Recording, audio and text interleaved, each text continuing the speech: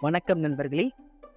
பாகம் நான்கு அத்தியாயம் நாற்பத்தி ஆறின் இறுதியில் பல்லவ வீரர்கள் சிலர் நாளை காலையில் கொடியேற்றத்திற்கு சேனாதிபதி வருகிறாரா இல்லையா என்பதில் நமது எல்லா சந்தேகமும் தீர்ந்துவிடும் பேசுகிறத பார்த்தோம். அடுத்ததாக அத்தியாயம் நாற்பத்தி ஏழு தலைப்பு சிறு தொண்டர்.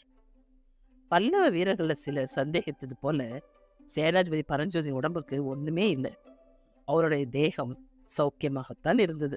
ஆனால் அவருடைய மனதுல தான் சௌக்கியமே இல்லை சாந்தமும் இல்லை. தம்முடைய கூடாரத்துல தன்னந்தனியாக பரஞ்சோதி உட்கார்ந்துட்டு இருக்காரு அவருக்கு தூக்கமும் வரல. அவருடைய மனக்கண் முன்னால வாதாபியின் வீடுகள் பற்றி எரியும் காட்சியும் ஸ்திரீகளும் குழந்தைகளும் வயோதிகர்களும் அலறிக்கொண்டு ஓடும் தோற்றமும் பல்ல வீரர்கள் வாதாபியின் எரிகிற வீடுகளிலும் கடைகளிலும் புகுந்து கொள்ளையடிக்கும் காட்சியும் தலைவேறு கைவேறு கால்வேறாக கிடந்த உயிரற்ற வீரர்களின் தோற்றமும் இரத்த வெள்ளம் ஓடும் காட்சியும் மாறி மாறி வந்துகிட்டே இருக்கு. இந்த கோரமான காட்சிகளோடு இருளடைந்த பாதாள புத்த விகாரத்துல சிவகாமியின் மீது விஷக்கத்தியை எரிய போன நாகநந்தியின் தோற்றமும் விஷக்கத்தியை காட்டிலும் குரூரமான நஞ்சு தோய்ந்த சொல்லம்புகளை அந்த பேதை பெண் மீது மாமல்லர் பொழிந்த சம்பவமும் கத்தியால் குத்தப்பட்டு தரையிலே செத்து கிடந்த கண்ணபிரானுடைய கலையிழந்த முகமும் இடையிடையே அவர் உள்ளத்தில் தோன்றி தோன்றி மறையுது. இவ்வளவுக்கும் மேலாக நெற்றியின் வெந்நீரும் தேகமெல்லாம் ருத்ராட்ச மாலையும் அணிந்து கையிலே உழவாரப்படை தரித்து சாந்தமும் கருணையும் தொழிந்த திருமுகத்தோடு விளங்கிய திருநாவுக்கரசர் பெருமான் சேனாதிபதி பரஞ்சோதி அன்புடன் நோக்கி அப்பனே நீ எங்கே இருக்கிறாய்? என்ன காரியம் செய்கிறாய்? போதும் வா. உனக்காக எத்தனை நாள் நான் காத்து கொண்டிருப்பேன்? அப்படின்னு கேட்டுக்கொண்டே இருந்தார். அதற்கு பரஞ்சோதி குருதேவா இன்னும் அறுபது நாழிகை நேரம்தான். பிறகு தங்களிடம் வந்து விடுகிறேன் அப்படின்னு மறுமொழி சொல்லிட்டு இருந்தார்.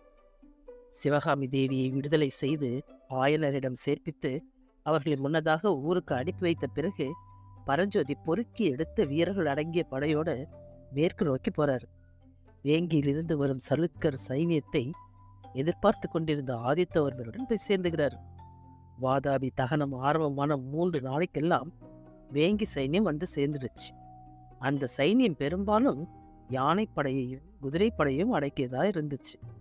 மேற்படி சைன்யத்தின் தலைவர்கள் புலிகேசின் மரணத்தையும் வாதாபி கோட்டையின் வீழ்ச்சியையும் அறிந்து கொண்டதும் பின்னோக்கி திரும்ப செல்ல பார்க்குறாங்க.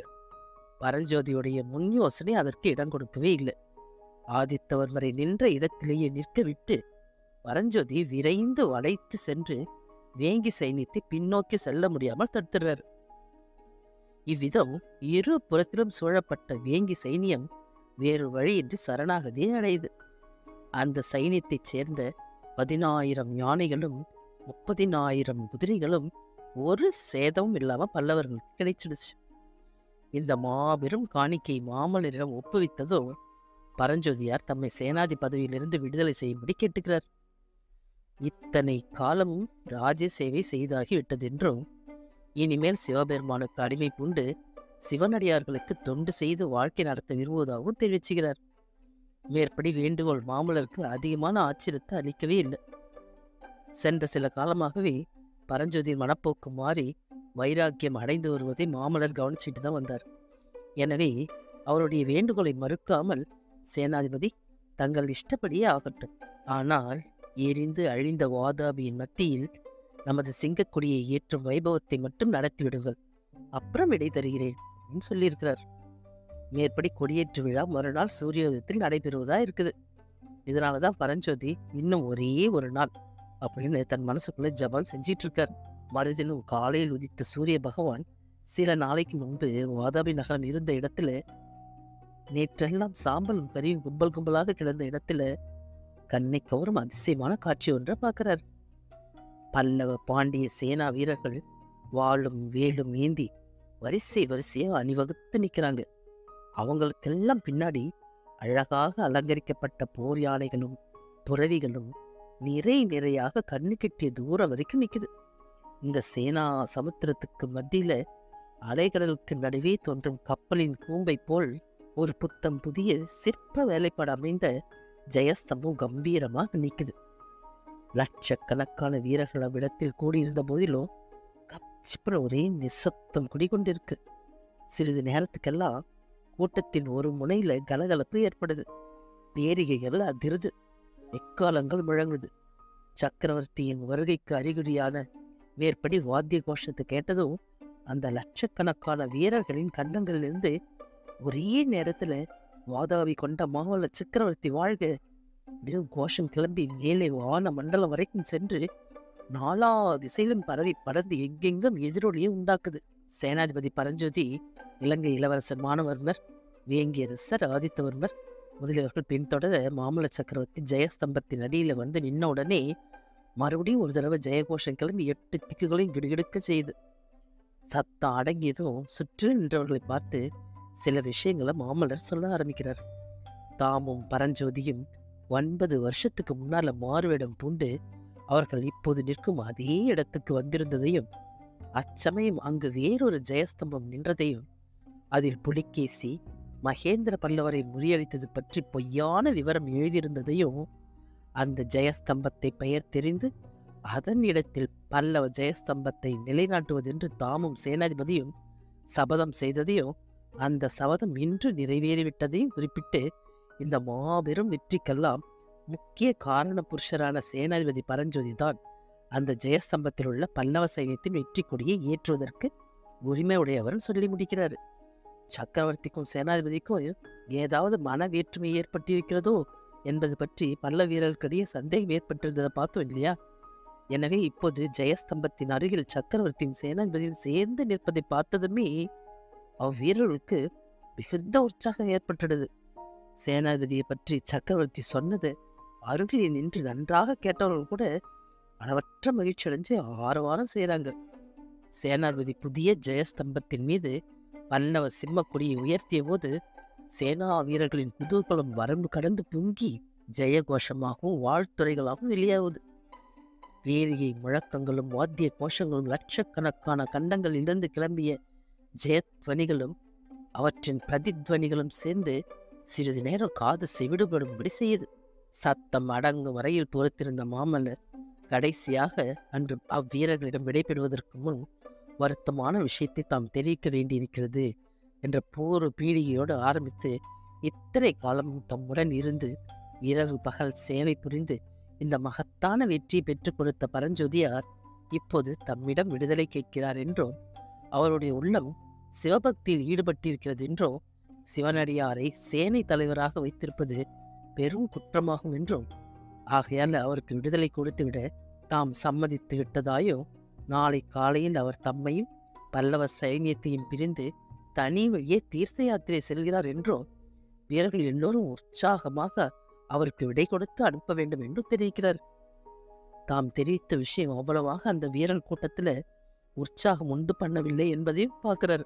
எல்லையற்ற மௌனம் அந்த பெருங்கூட்டத்தில் அப்போது குடிகொண்டிருக்குது அடுத்த நிமிஷம் ஆஜானு பாகுவாய் நெடிதுயர்ந்த மாமல சக்கரவர்த்தி தம்மை விட குட்டையான சேனாதிபதி பரஞ்சோதியை மார்புற தழுவி கொண்ட போது மீண்டும் அந்த சேனா சமுத்திரத்துல கோலாகல துவனிகள் எழும்புது. அன்றைக்கெல்லாம் மாமல்லர் பல்லவ பாண்டிய வீரர்களுக்கும் படைத்தலைவர்களுக்கும் பரிசுகள் வழங்குவதிலேயே ஈடுபட்டிருக்கார். வாதாவி எரியத் தொடங்கிய நாளிலிருந்து பல்லவ சைன்யத்தோட வந்திருந்த நூறு பொற்கொள்ளர்கள் ஆயிரம் வீரர்களின் உதவியோட தங்கத்தை உருக்கி புதிய சிங்கமுத்திரை போட்ட பொற்காசுகள் தயாரிப்பதில் ஈடுபட்டிருந்தாங்க. வாதாபி அரண்மனைகளில் இருந்தும் சலுக்க சாம்ராஜ்ய பொக்கிஷங்களிலிருந்தும் கைப்பற்றிய ஏராளமான தங்க கட்டிகளையும் பொன் ஆபரணங்களையும் பெரிய கொப்பரைகளில் போட்டு பிரம்மாண்டமான அடுப்புகளில் தீ மூட்டி உருக்குனாங்க. உருக்கிய பொண்ணை லட்ச லட்சமாக கழஞ்சு நாணயங்களை செய்து குவித்து கொண்டிருக்கிறாங்க. ஒவ்வொரு பல்லவ பாண்டிய வீரனுக்கும் அவனவன் தானே சேகரித்து கொண்ட செல்வத்தை தவிர தலைக்கு பத்து பொற்கழஞ்சுகள் அளிக்கப்படுது போர் வீரர்களுக்கு மேற்கண்டவாறு பரிசு அளித்த பிறகு படைத்தலைவர்களுக்கும் சிறந்த வீரச் செயல்கள் புரிந்தவர்களுக்கும் விசேஷ பரிசுகளும் அளிக்கப்படுது. யானைகளும் குதிரைகளும் சுமக்கக்கூடிய அளவு செல்வங்களும் பகிர்ந்து கொடுக்கப்படுது. துங்கபத்திரைக்கும் கிருஷ்ணா நதிக்கும் அப்பால் பல்லவ ஆதிக்கத்துக்குட்பட்ட விஸ்தாரமான பிரதேசங்களை எல்லாம் வேங்கியை தலைநகராக கொண்டு சர்வாதிகாரத்துடன் ஆளும்படி ஆதித்தவர்மன் நியமிக்கப்படுறார். இலங்கை இளவரசன் மாணவன்மனுக்கு தக்க வெகுமதி அளிப்பது பற்றி மாமல்லர் யோசித்தபோது பிரபு என் தந்தை வீற்றிருந்த அரசாண்ட இலங்கை சிம்மாசனம் தான் நான் வேண்டும் பரிசு. வேறு எதுவும் வேண்டாம் அவர் அப்ப சொல்றார். கடைசியில மாமல்லர் பரஞ்சோதியை பார்த்து சொல்றார் நண்பரே இந்த மகத்தான வெற்றி முழுவதும் தங்களுடையது.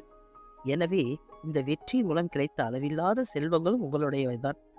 முப்பதினாயிரம் யானைகள் அறுபதினாயிரம் குதிரைகள் கொள்ளை கொள்ளாத அளவு ரத்தினங்கள் அளவிட முடியாத தங்கம் வெள்ளி ஆபரணங்கள் இவையெல்லாம் நமக்கு இந்த பொருளில் லாபமாக கிடைத்திருக்கின்றன. இவற்றில் ஒரு பகுதியையாவது தாங்கள் கட்டாயம் எடுத்துக்கொள்ள வேண்டும். ஐயாயிரம் யானைகளும் பதினாயிரம் குதிரைகளும் அவை சுமக்கக்கூடிய செல்வங்களும் தங்களுக்கு அளிப்பதென்று தீர்மானித்திருக்கிறேன். அப்படின்னு சொல்றார். மாமலரை மீறி பேச விடாதபடி தடுத்து பரஞ்சோதி சொல்றாரு அல்லவேந்திரா மன்னிக்க வேண்டும். தங்களிடம் நான் கோருவது முக்கியமாக தங்களுடைய தங்கமான இருதயத்தில் என்றென்றைக்கும் ஒரு சிறு இடம்தான். அதற்கு மேலே நான் கோருகிற பரிசு ஒன்றே ஒன்று இருக்கிறது. அதுவும் வாதாபி கோட்டையிலிருந்து கொண்டு வரப்பட்ட பொருளே தான் அப்படின்னு சொல்ல ஆஹா அது என்ன அதிசய பொருள்? அப்படின்னு மாமலர் வியப்போட கேட்கிறார். அந்த பொருள் இது ஒரு மூடு பல்லக்கில் இருக்கிறது. அப்படின்னு பறஞ்சு சொல்லி முடிச்சதும் நாலு வீரர்கள் ஒரு மூடு பல்லக்கை கொண்டு வந்து இறக்குறாங்க. பல்லக்கை திறந்ததும் அதற்குள்ளே நாம் ஏற்கனவே பார்த்த விநாயகர் விக்கிரகம் இருக்குது. வாதாபி கோட்டை வாசலில் இருந்த அந்த விக்கிரகத்துக்கு தாம் பிரார்த்தனை செய்து கொண்டதை பற்றி பரஞ்சோதி சொல்ல அதை தம்முடன் கொண்டு போய் தாம் பிறந்து வளர்ந்த செங்காட்டான்குடி கிராமத்தில் பிரதிஷ்டை செய்ய விரும்புவதாகவும் தெரிவிக்கிறார்.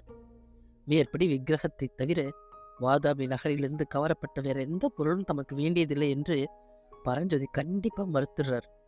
வேறு வழி இல்லாம மாமல்லர் பரஞ்சோதி விருப்பத்துக்கு இணங்க வேண்டியதா போயிடுச்சு. பரஞ்சோதி ஸ்தல யாத்திரை செல்லும்போது இரண்டு யானை பன்னிரண்டு குதிரை நூறு காலால் வீரர்கள் ஆகிய பரிவாரங்களை மட்டும் உடன் அழைத்து செல்ல வேண்டும் என்று மாமல்லர் பிடிவாதம் பிடித்து தமது நண்பரை இணங்கும்படி செய்கிறார். மறுநாள் மத்தியானம் மாமல்லரும் பல்லவ சைன்யமும் அவர்கள் வந்த வழியே காஞ்சிக்கு திரும்பிச் செல்ல புறப்படுவதாக திட்டமாகி இருந்தது பரஞ்சோதியார் துங்கபத்திரை கரையோடு சென்று ஸ்ரீசைலம் முதலிய கஷேத்திரங்களை தரிசித்துவிட்டு வருவதற்காக அன்று காலையிலேயே தமது சிறு பரிவாரத்தோடு புறப்பட்டு போயிறார்.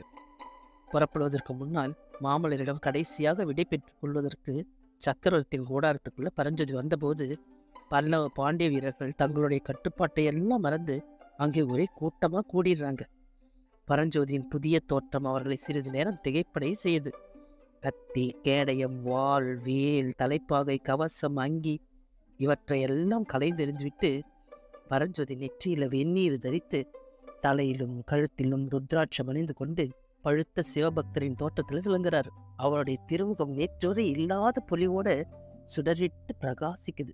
சற்று நேரம் திகைத்து நின்ற வீரர்களை பார்த்து பரஞ்சோதி கும்பிட்டதும் சேனாதிபதி பரஞ்சோதி வாழ்க! வாதாபி கொண்ட மகாவீரர் வாழ்கன்னு கூறாங்க பரஞ்சோதி அவர்களை கை கூப்பி வணங்கி அமைதியை ஏற்படுத்துறாரு. பிறகு நண்பர்களே இன்று முதல் நான் சேனாதிபதி இல்லை தளபதியும் இல்லை. சிவனடியார்களுக்கு திருத்தொண்டு செய்யும் தொண்டர் கூட்டத்தில் அடியேன் ஒரு சிறு தொண்டன் அப்படின்னு சொல்றாரு. அளவில்லாத வியப்புடனும் பக்தியுடனும் இதை கேட்டுக்கொண்டு நின்ற பல்லவ வீரர்கள ஒருத்தர் அப்போது ஒரு அமர கோஷத்தை கிளப்புறான். சிவனடியார் சிறு தொண்டர் வாழ்க அப்படின்னு அவன் கம்பீரமாக கோஷித்ததை நூறு நூறு குரல்கள் திருப்பி சொல்ல ஆரம்பிச்சிருச்சு. சிறுதொண்டர் வாழ்க சிவனடியார் சிறுதொண்டர் வாழ்க. என்ற கோஷம் நாலா புறத்திலும் பரவி ஆயிரம் ஆயிரம் குரல்கள்ல ஒலித்து எதிரொலிக்குது. பரஞ்சோதியார் தமது சிறிய பரிவாரத்துடனும் வாதாபி விநாயகருடனும் நெடு தூரம் சென்று கண்ணுக்கு மறை மறையில சிறுதொண்டர் வாழ்க அப்படின்ற சிரஞ்சீவி கோஷம் அந்த சேனா சமுத்திரத்தில் திரும்ப திரும்ப எழுந்து கொண்டே இருந்தது. அத்தியாயம் நாற்பத்தெட்டில் மீண்டும் சந்திப்போம்.